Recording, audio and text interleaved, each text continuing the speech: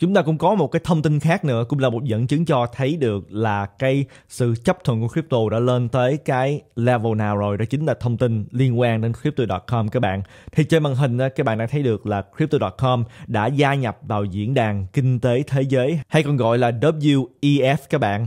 Thì điều này đó cũng mang rất nhiều ý nghĩa, tại vì à, các bạn đã thấy được đây là một trong những cái đơn vị mà họ tổ chức những cái sự kiện như là Davos và các bạn đã thấy là Davos là một chuyên sự kiện mà không chỉ riêng những người đứng đầu quốc gia như là những tổng thống, những thủ tướng đến tham dự mà chúng ta được là những người đứng đầu của những ngân hàng trung ương như là ngân hàng à, trung ương của châu Âu vân vân thì đều đến để mà tham gia.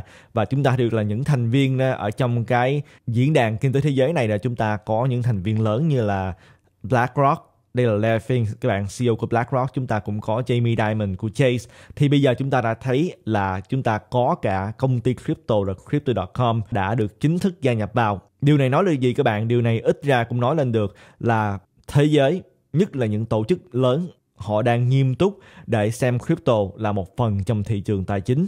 Chúng ta cũng còn nhiều thông tin khác nữa cũng phản ánh được điều này chúng ta nhìn thấy được là Bloomberg đó thì à, đã có cái thông tin ngày hôm qua là những khách hàng có tiền những khách hàng mà giàu có của ngân hàng UBS bây giờ đã có thể giao dịch một số ETF crypto ở Hồng Kông và các ETF crypto có thể giao dịch bao gồm là Samsung Bitcoin Futures Active, CSOP Bitcoin Futures và CSOP Ether Futures ETF.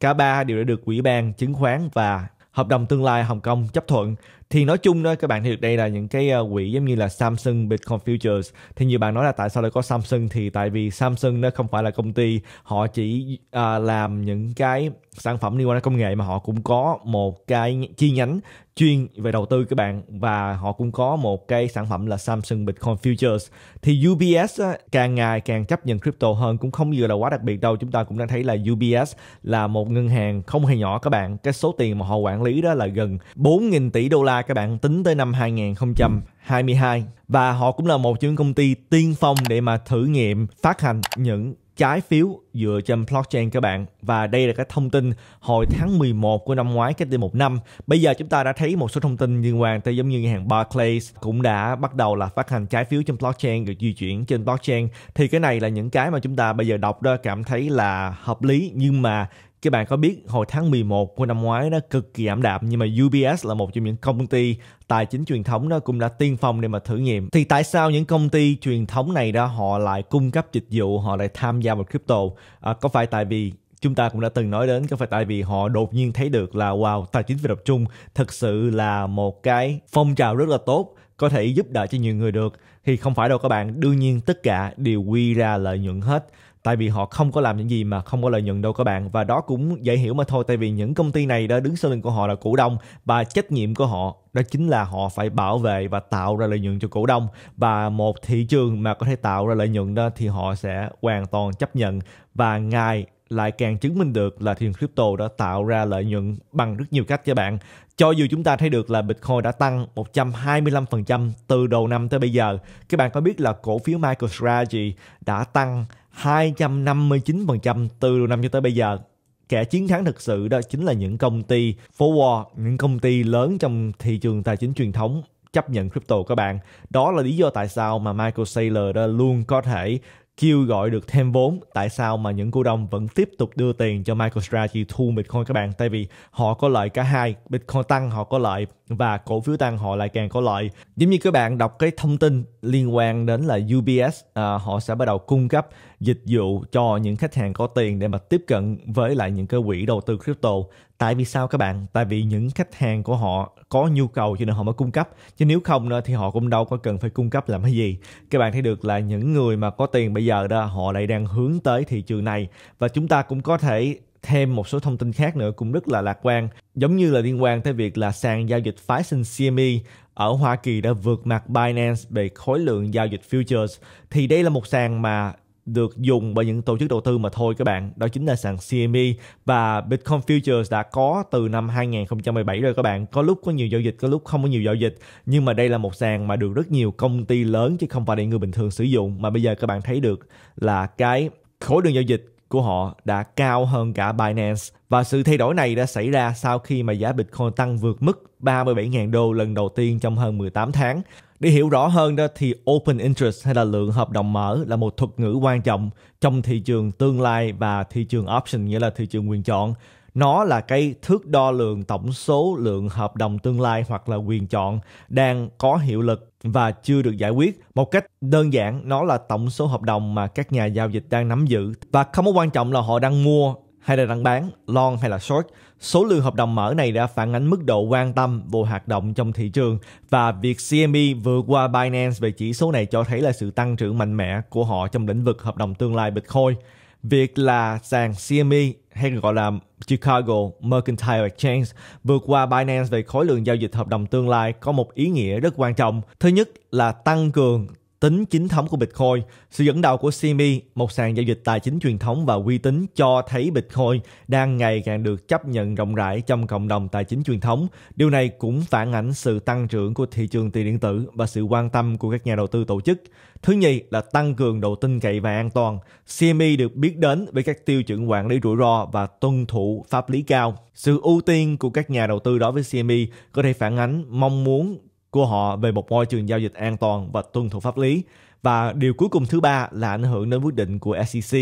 Ảnh hưởng đến quyết định của SEC khi mà CME đó một sàn giao dịch uy tín phát triển mạnh mẽ trong lĩnh vực hợp đồng tương lai của Bitcoin. Điều này đã có thể làm giảm đi những lo lắng của SEC về mức độ minh bạch và độ tin cậy của thị trường crypto. Sự phát triển này của CME có thể tạo ra một ấn tượng tích cực giúp SEC cảm thấy tự tin hơn trong việc xem xét và có thể chấp nhận các sản phẩm tài chính mới liên quan tới Bitcoin như là các Bitcoin Spot ETF, một bước tiến quan trọng hướng tới việc hợp thức hóa và tích hợp Bitcoin vào hệ thống tài chính chính thống Tóm lại đó, sự vượt trội của CME trong lĩnh vực hợp đồng tương lai của Bitcoin không chỉ là một dấu hiệu của sự chấp nhận rộng rãi hơn của Bitcoin trong thế giới tài chính truyền thống, mà còn là một bước tiến quan trọng trong việc xác định tương lai của crypto. Thì nói đến đây đó, có một câu hỏi mà thường thường nhận được, cái này nó có tốt hay là xấu đối với lại tương lai của Bitcoin nói riêng và crypto nói chung các bạn. Tại vì nhiều bạn đã nói là cái này nó có phải đi ngược lại với lại xu hướng trước đây. Chúng ta thấy được là crypto Bitcoin là một cái gì đó không phải là một phần của thị trường tài chính truyền thống và nó tối ưu hơn. Bây giờ lại là một phần của thị trường tài chính truyền thống. Thì cái mà thùng muốn chia sẻ với các bạn đó cái này nó không tốt và nó cũng không có xấu. Cái này đó nó là thuộc về một cái sự tiến triển gọi là rất tự nhiên đối với một thị trường tăng trưởng các bạn.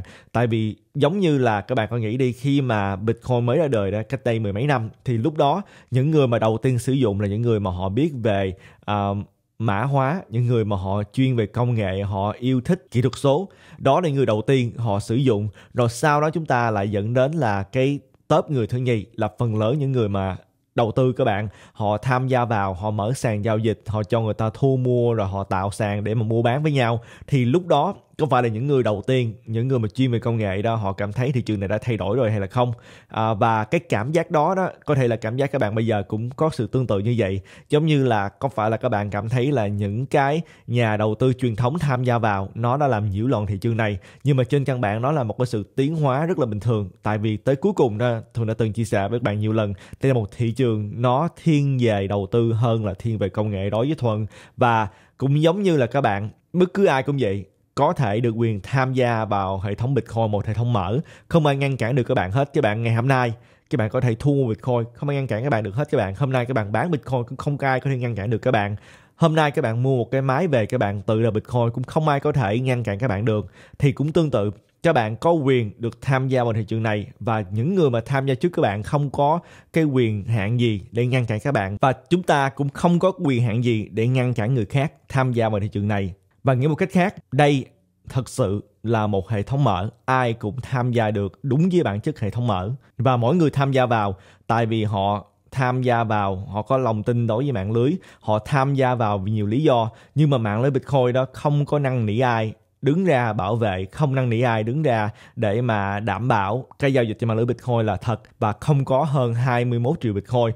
Mạng lưới Bitcoin chỉ dựa vào lợi ích thôi các bạn. Những người mà chạy nô những người mà tham gia vào đào hiện tại, những người mà tham gia vào đầu tư hiện tại, những công ty cung cấp dịch vụ liên quan tới Bitcoin đó thì họ đều dựa vào lợi ích thôi các bạn. Và khi mà tất cả mọi người đều chỉ chú tâm vào một thứ duy nhất là lợi ích thì mạng lưới ngày càng vững mạnh đó là điều mà thường có thể chia sẻ với các bạn liên quan tới vấn đề này. Chúng ta cũng còn một số những thông tin khác thường muốn chia sẻ. Chúng ta có một cái thông tin thú vị đến từ Trung Quốc và để thường giải thích thêm, thì à, chúng ta đã nhìn thấy một cái thông tin được chia sẻ ở trên Cointelegraph đó là chính phủ Trung Quốc đã đưa ra một thông báo vào ngày 10 tháng 11 như là ngày hôm qua đó các bạn, là bất kỳ ai ăn cắp bộ sưu tập kỹ thuật số, bao gồm cả NFT thì sẽ bị coi như là hành vi trộm cắp. Và nhấn mạnh trong một quan điểm coi các bộ sưu tập kỹ thuật số vừa là dữ liệu, vừa là tài sản ảo cái này rất là thú vị các bạn, tại vì theo đơn hiểu đó, ở Trung Quốc đó, thì họ có luật liên quan đến dữ liệu, giống như là các bạn ăn cắp dữ liệu của một công ty đó, thì đương nhiên đó là phạm tội. Hay là các bạn ăn cắp một tài sản ảo của một công ty đó, giống như chúng ta nói tới những cái tài sản giống như là các bạn là bí quyết công ty, hay là các bạn có bí quyết giao dịch hay cái gì đó đó, cái đó là một tài sản ảo. Khi các bạn ăn cắp cái đó thì là vi phạm luật ở Trung Quốc. Và bây giờ họ xem đó NFT giống như là cả hai luôn các bạn, vừa là dữ liệu, vừa là tài sản ảo. Cho nên nếu như mà có một ai đó ăn cắp NFT của các bạn, thì ờ, vẫn được xử như là ăn cắp một tài sản. Và thật ra cái này nó cũng không có gì nào mới lạ đâu các bạn, tại vì đã nhiều năm liên tục, cho dù là Trung Quốc nói là họ không cho phép giao dịch Bitcoin trong quốc gia của họ, nhưng mà lưu trữ Bitcoin đó thì hoàn toàn hợp pháp các bạn. Các bạn có thể lưu trữ, có thể di chuyển. Các bạn chỉ không thể mua IEO giao dịch trên sàn mà thôi, chứ còn lưu trữ và di chuyển vẫn được chứ không được sử dụng làm phương tiện thanh toán. Nhưng mà từ trước tới giờ đó thì đã có nhiều vụ kiện xảy ra ở Trung Quốc các bạn. Và gần đây á, các bạn đã nhớ là có vụ kiện hồi tháng 9 và thường nhớ là cách đây một năm cũng có vụ kiện tương tự là trong một cái sự tranh chấp gì đó giữa hai người. Và nó liên quan đến crypto giống như thường nhớ là người này đưa crypto cho người kia và người kia lưu trữ crypto giống như là thế chấp hay gì đó. Và khi mà hai người bất đồng ra tòa thì tòa án ở Trung Quốc, tôi nhớ là tòa án ở thẩm quyến hay đâu đó đó, thì vẫn ra quyết định cuối cùng là crypto là tài sản, cho nên sẽ được xử theo luật tài sản. Thì bây giờ đó, thông tin này chủ yếu là nói là NFT cũng là tài sản, tương tự như là những token. Đó là cái mà thường hiểu mà thường muốn chia sẻ với các bạn. Còn một thông tin cực kỳ thú vị luôn, các bạn có biết có một người có tên là Nuriel Rubini. Đây là một trong những tiến sĩ đó, cũng được nhiều người nói đến các bạn. Thì đây là một tiến sĩ mà nhiều người gọi là Dr. Doom, nghĩa là một người mà cứ năm nào cũng đưa ra cái phán quyết là chúng ta sắp có suy thoái tài chính lúc nào cũng có cái nhìn tiêu cực về nền kinh tế. Bao nhiêu năm qua các bạn cho dù là nền kinh tế có tốt như thế nào thì cũng có cái nhìn tiêu cực và đã kêu gọi là sẽ có suy thoái tài chính trong vòng mười mấy năm qua các bạn. À, cũng giống như là Peter Schiff và đặc biệt đó tiến sĩ Norio Rubini rất là ghét crypto và ông đã từng gọi Bitcoin là bong bóng của tất cả các bong bóng. Nghĩa là đây là cái bong bóng lớn nhất trên thế giới và crypto là vụ cướp lớn nhất trong lịch sử loài người. Các bạn đã thấy được là gần đây nhất đó, cái thuyết mình thường tìm thấy là giờ này năm ngoái các bạn thì à, uh, thuần sẽ không có à, đọc đâu nhưng mà các bạn có thể nhìn thấy được trên màn hình.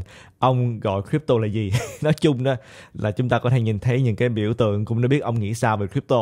Nhưng mà bây giờ đó thì uh, tiến sĩ Rubini lại phát hành token các bạn và ông là một phần của một dự án stablecoin có tên là Atlas Climate Token. Thì đây là một cái stablecoin và họ sẽ neo theo danh mục tài sản thực có tính thanh khoản như là quỹ đầu tư bất động sản, nhưng mà nó cũng hướng về climate change, nghĩa là nó hướng về thay đổi khí hậu các bạn. Không biết là họ sẽ đầu tư như thế nào, họ không có chia sẻ chi tiết trên trang web các bạn, nhưng mà đây là một cái stable coin mà thay vì stable coin như là USDC hay là đồng Tether đó thì được đảm bảo bởi tiền mặt hoặc là công trái phiếu thì cái stablecoin này được đảm bảo bởi những cái tài sản như là bất động sản, hàng hóa, trái phiếu chính phủ và vàng và cũng sẽ kết hợp với các tài sản như là TradeFi và DeFi nghĩa là đây là một stablecoin mà sẽ giao dịch ở trong hệ thống TradeFi nghĩa là hệ thống truyền thống hiện tại và DeFi các bạn. Thì cuối cùng tiến sĩ à, Rubini cũng phát hành token các bạn.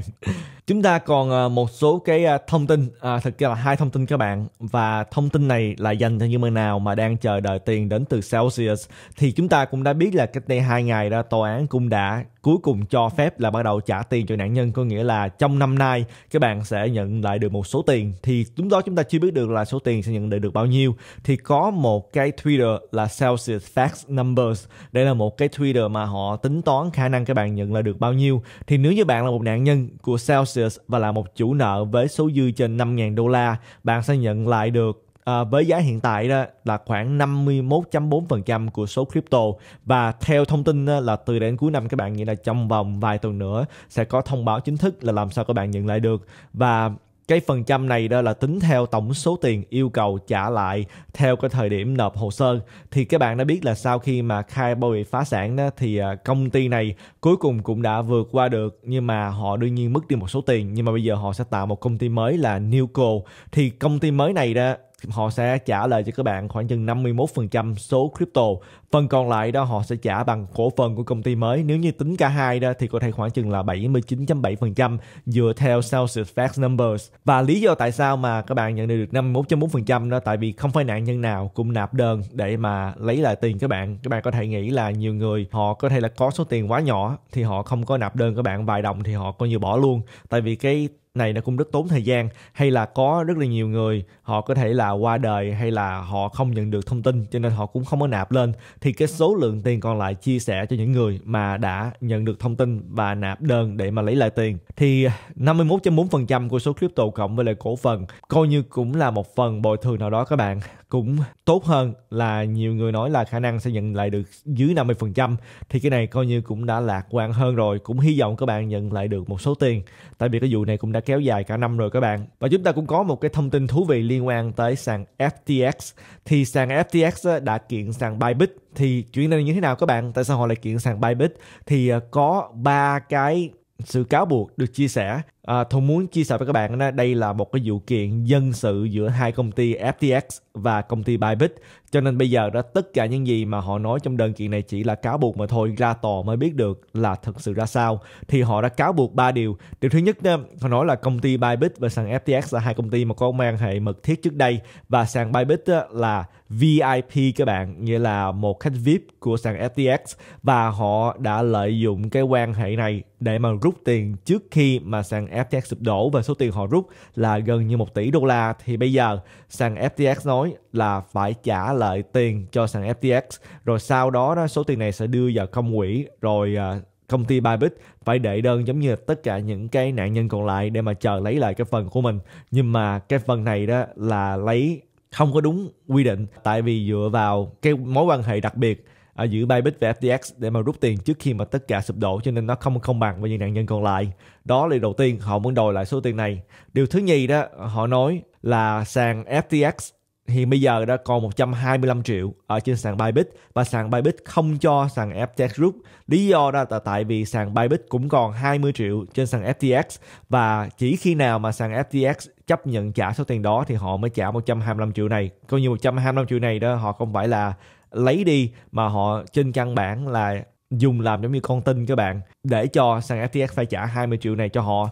Và điều thứ ba là liên quan tới Alameda Research. Thì giữa Alameda Research và công ty Bybit đó, họ đã có một cái thỏa thuận trước đây là công ty Bybit đối với lại sàn FTX và Alameda. Thì à, họ nói là họ có lòng tin là công ty Bybit là toàn quyền quyết định dự án BitDAO mặc dù là BitDAO là một dự án mà sàn Bybit nói là một dự án phi tập trung nhưng mà dựa theo cái đơn kiện này đó thì uh, sàn FTX nói là Bybit quản lý toàn bộ BitDAO và có một thỏa thuận trước đây đó là họ sẽ hoán đổi giống như là Alameda sẽ lấy là 100 triệu đồng Bit tokens sau đó sẽ đưa cho sàn Bybit 3.4 triệu đồng FTT thì à, sau khi mà các bạn thấy là sàn FTX Cabo bị phá sản đồng FTT đó đã giảm giá rất là nhiều. Và hồi tháng 5 của năm nay sàn Bybit đã liên hệ với lại công ty FTX về việc là họ muốn trả lại 3.4 triệu token FTT này để lấy lại 100 triệu đồng Bit token. À, và cái lúc mà hoán đổi đó thì à, hai cái giá trị của hai đồng này đó nó bằng nhau. Giống như là các bạn thấy là cái số lượng tiền đổi đồng Bit token và đồng FTT đó là bằng nhau đồng thì cái giá khác nhau của bạn, nhưng mà cái tổng số tiền là bằng nhau. Nhưng mà cái lúc mà muốn đổi lại đó, hồi tháng 5 thì lúc đó giá trị của đồng BitDAO đó là vẫn còn khoảng chừng 50 triệu. Trong khi mà giá trị của đồng FTT token là chỉ còn có 4 triệu mà thôi. Và cái đơn vị quản lý phá sản của FTX đã từ chối, không đổi. Và ngay sau đó đó thì à, trong đơn này nói là đồng BitDAO này đã có thông báo là sẽ chuyển đổi tên thành Mantle có nghĩa là thay vì đồng bit đồng BIT. Trước đây thì sẽ là đồng NMT và bất cứ ai đang lưu trữ đồng bit thì có thể chuyển qua thành đồng MNT này. Nhưng mà khi mà sàn FTX lấy 100 triệu bit token này chuyển đổi qua đó thì à, đã bị hạn chế hay là bị lock bởi sàn Bybit không cho hoán đổi, dẫn đến thiệt hại. Đó là ba cái cáo buộc đến từ sàn FTX các bạn và khi nào ra tòa hay là có thỏa thuận, chúng ta mới biết là sự thật ra sao. Chứ còn bây giờ đã chỉ là chúng ta nghe một bên từ FTX mà thôi. Khi nào mà Bybit có thông tin gì, Thuận sẽ chia sẻ với các bạn. Và đây là tất cả những thông tin mà Thuận muốn chia sẻ với các bạn trong video ngày hôm nay. Thuận hy vọng là các bạn nhận được nhiều giá trị trong video này. Nhưng mà nào muốn tìm hiểu những ưu đãi dành riêng cho cộng đồng của Thuận Capital thì có thể tìm hiểu bằng cách là bấm vào cái link ở bên dưới video này để tìm thấy những ưu đãi như là các bạn có thể nhận được bonus hay là giảm phí giao dịch lên tới 30% khi mà tham gia vào những sàn như là Bybit, OKX, Binance, Alinex và một số những dịch vụ khác như là các bạn đang nhìn thấy trên màn hình.